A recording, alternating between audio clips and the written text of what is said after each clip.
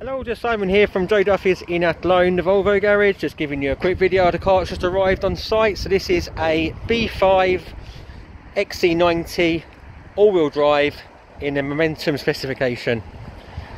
So finished in the denim blue. As said, this does have the all-wheel drive capability as well. So inside being standard with XC90s, you do have the full leather, which is heated, and you also have your memory seats there as well. Mileage on this car is very low, 88,000 kilometres. So if you'd like to book a test drive on this vehicle or any others, please give us a ring and we can facilitate that for you. Take care, bye bye.